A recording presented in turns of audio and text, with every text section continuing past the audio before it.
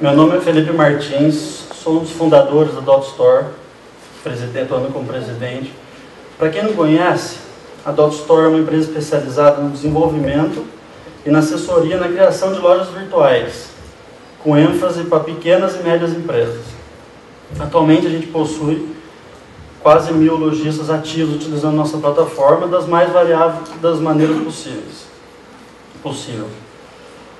É, gostaria primeiramente de parabenizar o evento e agradecer a oportunidade de estar aqui, agradecer todo o pessoal aí responsável, estão todos de parabéns, inclusive o projeto por completo E-Commerce Brasil, no qual tenho muito orgulho de estar participando. Eu, vou, eu resolvi não abordar a logística de modo direto, a logística da parte da distribuição, da parte do, do envio, e sim mostrar em como simplificar o processo de crescimento, automatizando processos logísticos e evitando erros que causam devoluções por questões logísticas. Eu quero deixar bem claro que eu sou a favor totalmente da terceirização de todas as cadeias é, da, loja virtual. Eu acho que o vendedor, o lojista, ele tem que se preocupar só com duas coisas: comprar e vender. É a única coisa que tem que se preocupar. Só que é o seguinte, é, como muitas lojas grandes estão acostumadas a pensar, o pequeno lojista ele é um pouco diferente. Ele não sente a necessidade de uma estrutura robusta de distribuição, ele ainda não sente, só que um dia ele vai precisar. Só que para ele precisar, ele tem que crescer e eles acabam tendo sempre as mesmas perguntas para a gente. Primeiramente, a loja precisa de planejamento, é preciso ter visão de crescimento e visualizar o futuro e o aumento da loja.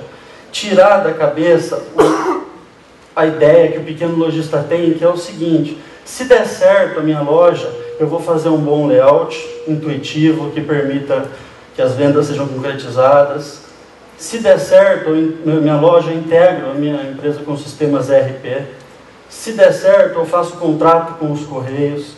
Se der certo, eu começo a procurar uma boa, boa plataforma que permita que eu venda mais, que eu tenha problemas de integrações etc.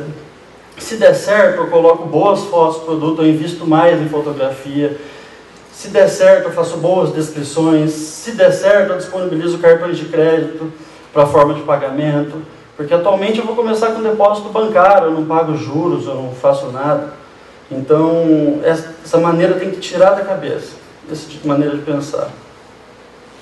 Outra pergunta que a gente tem recebido muito é o seguinte: eu tenho bastante acesso e não vendo, e ainda por cima uma porcentagem devolve o produto. Por quê? Logística é um dos principais fatores.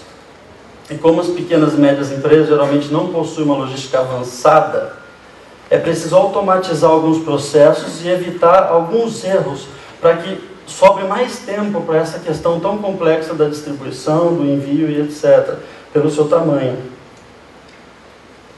Algumas possíveis automatizações que eu queria citar é a parte da análise de risco. A análise de risco a gente entende não só pela questão da fraude, do risco, e sim a questão da automatização do processo, diminuindo todo o tempo liberando mais tempo para que você consiga fazer a parte mais difícil, que é empacotamento, entrega, etc., dentro de um prazo. Bom. Pedido automático de reposição de estoque. Assim perde-se muito tempo, menos tempo analisando sempre o estoque em busca de possíveis faltas de mercadorias. Geração de notas fiscais eletrônicas, como o nosso amigo falou. É, tem clientes hoje que ainda geram manualmente, isso perde um tempo, eles perdem um tempo imenso. Então, de uma maneira automatizada, você conseguiria, como dito, diminuir de 10 a 15 segundos, automatizando todo o processo e novamente liberando para os próximos passos. Confirmação de pagamento com retorno automático.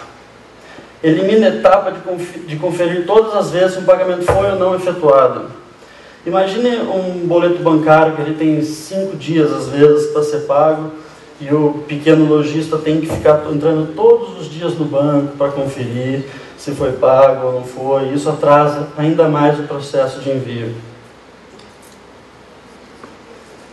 Contrato com grandes transportadoras, exemplo Correio, ter uma grande empresa aliada à sua loja traz benefícios como menores taxas, coleta no endereço de origem, logística reversa e etc. Geração automática de etiquetas e listas para cobranças. Tem uma plataforma que permita que, assim que o pedido for efetuado, ele já gere automaticamente todos os passos do, do processo de compra, automatizando ainda o processo. Envio de código de rastreamento a cada passo. O cliente está comprando o produto numa loja que ele desconhece, diferente dos grandes players. Então, automaticamente, ele, ele acaba ficando ansioso, ele acaba tendo incertezas e cada passo que ele receba, se ele receber um e-mail automático dizendo o produto está na agência X, ele está a caminho da agência Y, isso vai diminuindo a ansiedade dele, fazendo com que ele fique mais tranquilo e evitando assim a desistência e troca dos produtos. Integrações com o sistema ERP. Outra, outro item é, que a gente considera importante para o crescimento de uma pequena loja é evitar erros em prol do crescimento, como o caso da utilização de depósito bancário como forma de pagamento. Essa forma de pagamento atrapalha completamente a logística. Imagine 30 pedidos no mesmo dia com a forma de pagamento do depósito bancário com o mesmo valor e sem que o cliente tenha enviado qualquer tipo de confirmação. O pior de tudo é que ainda o cliente, ele não quer saber. Ele pagou, então ele quer receber. Então ele acaba, isso não vai dar certo, isso acaba atrapalhando todo o processo.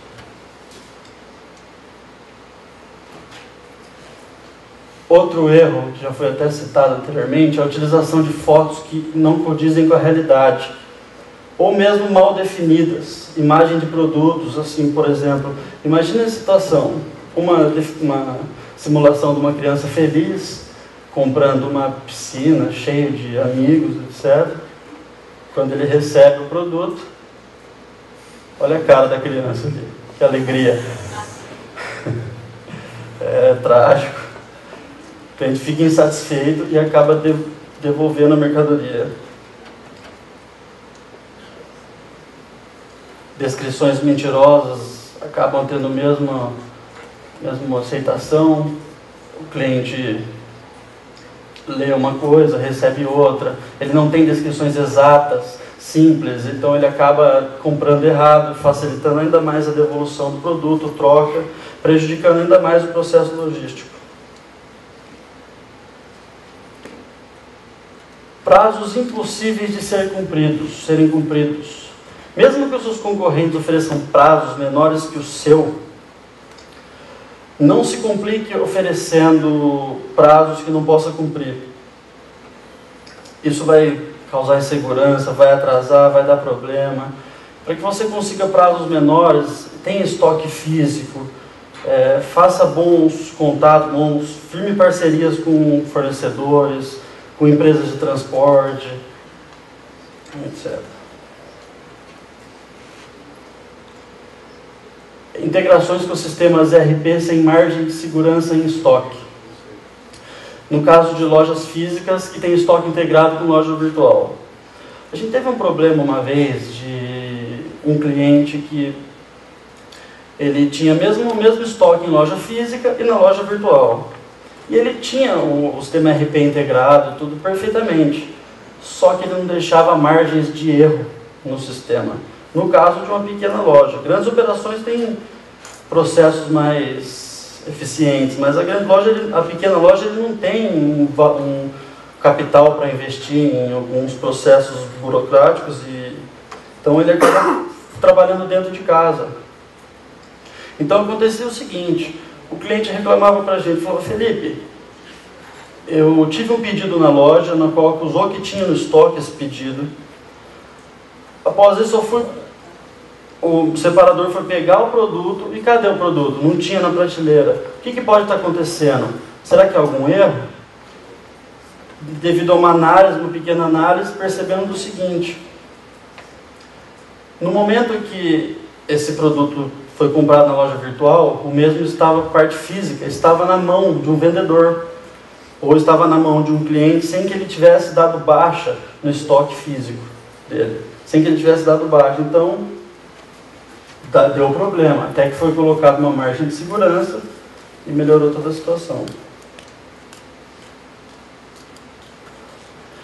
Outro problema é a reposição de estoque mal controlada. O cliente fica insatisfeito, gera diminuição de vendas, perda de credibilidade, acesso perdido às páginas. Há poucos dias eu recebi um contato de um outro cliente nosso, em que ele me perguntava a seguinte questão: Felipe, estou tendo milhares e milhares de acessos em minha loja mas eu não estou tendo tanta venda assim. Será que a Dot Store, o sistema da Dot Store está com algum problema? Em uma análise, fomos verificar a seguinte questão: ele trabalhava com vestuário. No caso, foi colocado, ele acrescentou 100 modelos de bermudas, por exemplo, com um produto em estoque em cada bermuda, sem que ele colocasse na mesma página, na página de na listagem, como esgotado, e sim apenas dentro do produto. O que, que acontecia? O cliente navegava, navegava, navegava, navegava e não achava nenhum produto, porque foi comprado apenas uma vez. Então o que, que isso aconteceu? Não deu certo. Poucos dias depois eu recebi uma ligação novamente dizendo que ele fecharia a loja virtual dele porque o comércio eletrônico não dá certo e continuaria apenas com as lojas físicas. O comércio eletrônico não é uma coisa para agora, não é tão bom. Vou fechar.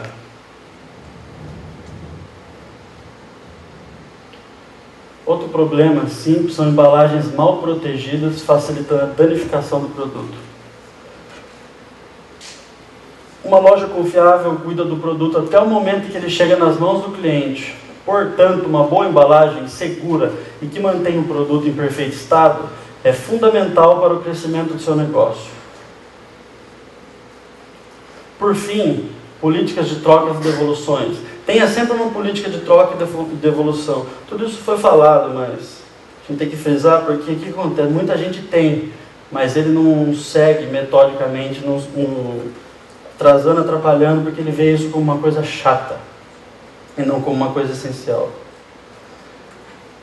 Por fim, é, toda essa ideia foi, foi feita pensando na seguinte questão o cliente quer montar uma loja virtual, ele não tem muito dinheiro para investir, ele não consegue, infelizmente, ainda terceirizar a parte de distribuição dele. Então ele tem que, ele tem que automatizar alguns processos para que ele ganhe mais tempo para esse, esse tipo de coisa.